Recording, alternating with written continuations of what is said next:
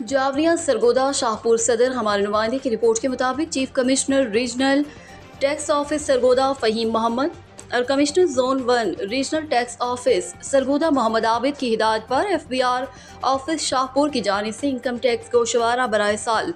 2023 आगाही मुहिम जारी है। इस सिलसिले में आज एफ़ बी आर की टीम ने इंडलैंड रेवेन्यू ऑफिसर मोइनुद्दीन की सरबराही में तहसील बार शाहपुर का दौरा किया।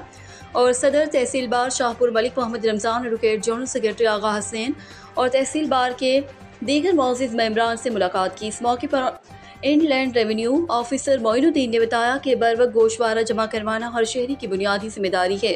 उन्होंने मजीद बताया कि गोशवारा आमदन बरए साल दो हज़ार तेईस जमा करवाने की आखिरी तारीख तीस सितंबर दो हज़ार तेईस है लिहाजा तमाम मोजिज़ मेम्बरान अपने टैक्स गुजारान के गोशवारे बर आमदन बर वक्त जमा करा दें। और मुल्क की तरक्की में अपना किरदार अदा करें।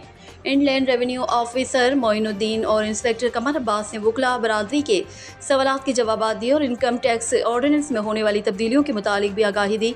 इस मौके पर एफ़ बी आर की टीम, जिनमें इंस्पेक्टर कमर अब्बास, सुपरवाइज़र आमिर अब्बास शाह, मोहम्मद कासिम जाफरी सैद जीशान हैदर, हसन शिराजी, मोहम्मद तोकिर शामिल थे।